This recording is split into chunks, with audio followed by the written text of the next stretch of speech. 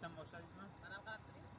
assalomu alaykum hurmatli o'quvchilar. Sizlar bilan avtokurs muzaffar sadiqov bugun mana birinchi o'quvchimiz bilan endi boshlang'ich maydonda mashq qilish tartibini o'rgatib ko'rsatib beraman. Tak birinchi qiladigan ishimiz mana o'quvchimiz o'tiribdi to'g'ri o'tiribdimi yo'qmi uni bilib olishimiz kerak. Buni qayerdan bilamiz. Hozir ko'rsatib beraman. Mana bu o'tirgan holati mana qarang splenani polgacha bosing oyog'i yetyaptimi yo'qmi mana zo'rg'a yetyapti. Demak bu uzoqroq o'tiribdi. O'shaning uchun nima qilish kerak? Sidinani oldiroq surish kerak. Oldiroq surish uchun richakka ham ko'rsatib qo'ying birato'la qaysi richakdan qanaqa turdi? Endi boshlanayotgan o'quvchilarga hozir ko'rsatib beraman. Mana richak oyoqniki ko'rindimi mana mana shunaqa tartibda. Suriladi. И o'ziga to'g'irlantiradi endi bosib ko'ring. Endi oyoq yetyaptimi? Keyin bosayotganda kuchi bilan bosishga harakat qilinglar. Tepasi bilan o'rta pedal pastga tushib ketib qoladi oxirigacha bosilmaydi. Keyin qiynaladi. Tak polgacha bosilyapti demak yetyapti. Endi keyingi spinkasini to'g'irlash tartibi. Spinkani to'g'irlayotganda nimasiga qaraladi? Demak boshingizni podgolovniga qo'ying. Podgolovniy demak boshni orqasidagi yostiqcha bo'ladi. И qo'lingizni ruluvchiga nima qiling? Demak yaxshi. Mana shu holati. Endi to'g'irladik endi harakatni boshlashni o'rgatamiz. Demak, ichkari tomondan hozir. Hozir qiling. Demak sidinani to'g'irladik endi birinchi biladigan narsamiz tak pedallarni bilasizmi? Hop. Yo'q, bilmas ekanman stikleni. сцепление chap tomondagi pedal sцепление u faqat chap oyoq bilan bosiladi o'rtadagi pedal. Gazmi? tormoz Tormoz. tormoz o'ng tomondagi pedal Gaz. gaz bo'ladi. Gaz bilan tormoz o'ng oyoq bilan bosiladi. E, bu pedallar поворотнийларni yoqish tartibi tepaga o'ngga pastga pastga chap. chapga yoqing Gabaritni qaysi? o'sha richak faqat buriladi uch qismi bitta burasangiz gabaritni yana bitta burasangiz ближний yaqinni yorituvchi buni orqaga itaring mana bunaqasiga suring Undami? yo'q Ha bu дальний Undan. ya'ni uzoqni yorituvchi chiroq hisoblanadi. Hmm. o'chiring hammasini. Bu o'chdi. Tak mana bu richak oyna tozalaydigan ekan. Qancha tepaga ko'tarsangiz shuncha tez ishlashni boshlaydi. Qancha pastga tushirsangiz shuncha oxiri o'chadi. Hozir qurug'ida ishlatmaymiz chunki oynani qirishni boshlaydi. A, o'zingizga tortsangiz bu ham suv sepib ham tozalab beradi. Hozir moshina zажигание o'chib bo'lgani hisobiga ishlamaydi Tak endi panelli приборы chap tomondagi panelli приборы nimani bildiradi? Mana mana bu.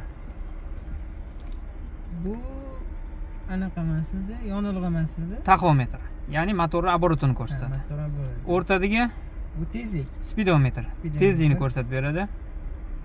O'ng tomondagi tepadagi datchik dvigateli temperaturasi.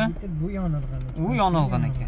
ichidagi sonli nimani bildiradi Ichidagi sonlar o'sha tezlikni yuqori bosqichga ko'tarilib borishi. yo'q ichidagi sonli mana bu nechi to'rt yuz to'qson kilometrajini. kilometraj to'ppa to'g'ri moshina umumiy o'tgan kilometri bosib o'tgan masofa. tagidagisi qan- nol qilib qo'yishadi ko'pchilik haydovchilar demak zapravkadan zapravkagacha qancha yurish mumkinligini ko'rsatib beradi avariyka oldi tumanka orqa tumanka orqa tumanka. И bu tomondagi orqa обогрев стекол hisoblanadi chap tomonda tepadagi knopka ha обогрев стекол ya'ni orqa oyna qishda muzlab qolganda moshinani nima qiladi oynasini eritib berish uchun demak qo'llaniladi ho'p endi richak скоростьga bir ikki uch to'rt besh va задний передачанiki spleniani polgacha bosingda buni chiqaring birda turibdi hozir yo'q mana endi chiqdi qo'yib yuboring bu o'rtada mana mana bu o'rtada joylashgan. Bu neytralniy holati. Birga olish uchun displeyni polgacha bosiladi. Chapga o'zingizga tortasiz buni va tepaga surasiz. Bu birinchi pog'ona. Ikkinchi pog'ona chapga tortib turib pastga tushirasiz. Tushdimi? Tushdi. tushmadi. Mana endi tushdi. Bu ikkinchi pog'ona. Chiqarasiz ikkidan. Bo'ldi. Qo'yib yuboring endi o'rtaga tushib oldi. Hmm. tepaga qiling. Uch Bu chiqaring uchdan pastga qiling. Bu to'rt. Chiqaring to'rtdan o'ng tomonga man tomonga и tepaga. Bu besh. Hozir uchga tushdi. Chiqaring. O'ng tomon. Oxirigacha bu besh bo'ladi. Tushundingizmi? Hmm. chiqaring beshdan. И задниyniki ya'ni orqaga harakatlanish. Tagida kolso bor. Endi o'zbekchasiga halqa deyiladi bu. Kolsoni ko'tarib turib mana mana bunda ko'tariladi bu. Ko'tarib oxirigacha o'zingizga и tepaga. Bu задний ya'ni orqaga harakatlanish. Chiqaring заднийdan вот o'rtada turyapsan bu demak neytralniy ho- holati hisoblanadi. Endi rushok rushnoy. Rushnoyga nima qilish kerak? Ko'tarib turib bosasiz tushadi. Tushadi. Ko'tarilgan holatda bu to'xtab turgan bo'ladi. Endi buni ko'taring g'irt etadi bu tortilgan holati ya'ni bu rushnoyda turgan holatni bildirib turadi. Tushirib qo'yasiz. Yurish uchun bu tushirilgan bo'lishi kerak. Ko'tarib turib knopkani bosasiz. O'shanda oson tushadi. Ho'p yaxshi. Endi kamarni taqing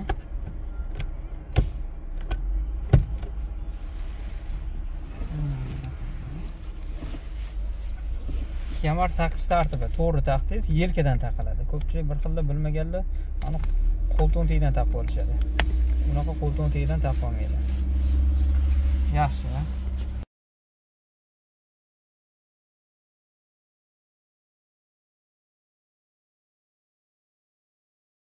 Endi kalitni burashni boshlang. Soat bo'yicha yana ozgina buring bo'ldi. Endi ko'rdingiz ani chiroqlari yondi. U nima chiroqlarni bildiradi? Plyus minus ko'ryapsizmi? o'ng tomondan birinchi chirog'i u demak akkumulyatorda qanaqadir nosozlik bo'ladigan bo'lsa o'sha chiroq nima qiladi? Yonib qoladi. Choynakni rasmini ko'ryapsizmi?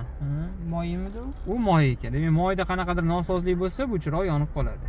Keyin brek degan yozuv yo ruchnoy tormoz tortilib turgan holatda yoquv bo'ladi. Yoki tormozda nosozlik paydo bo'lsa bu chiroq yonishni boshlaydi.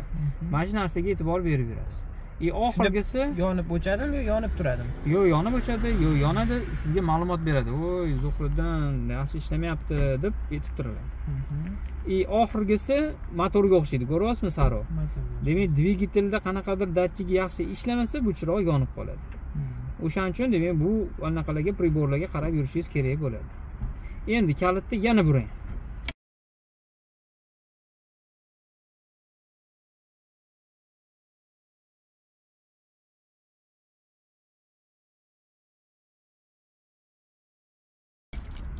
orqaga qaytardingiz hozir. Orqaga qaytarmang. Dальше burash kerak. Bo'ldi qo'yib yuboring o'chdimi chiroqlar o'chdi. Demak nosozlik yo'q nosozlik bo'lsa bu chiroq yonadi. Mana hozir ruchnoyni tortaman ko'rdingiz chiroq yondi. O ruchnoyda turibdi zuhriddin deb sizga aytib turadi. Ruchnoy tushirgan degani. Tushirsangiz o'chadi. Tak endi qo'zg'atish uchun splenani polgacha bosiladi. Birga olasiz. Asta splenani qo'yib yuborishni boshlaysiz lekin oxirigacha qo'yib yubormang sekin millimetr bo'yicha qo'yib yuborasiz yana ozgina yana ozgina. Mana shu ushlang splenani bo'ldi moshinangiz ketdi. Yurib ketdimi? Yurib ketdi endi полный qo'yib yuboring splenani bo'ldi spleniga tegmang rulni boshqaring. Voy остановкаga ketyapsiz to'g'irlang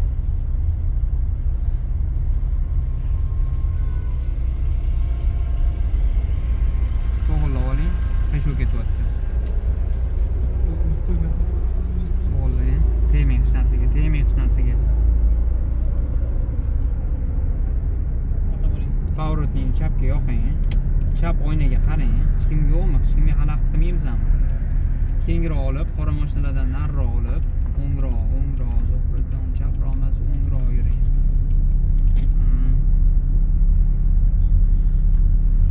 shunda mana bu поворотный o'zi avtomatik o'chadimi o'zi avtomatik ravishda o'chadi to'g'ri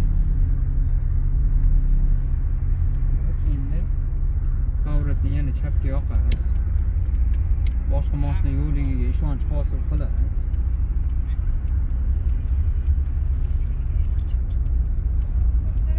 to'g'irlab oling mashinangizni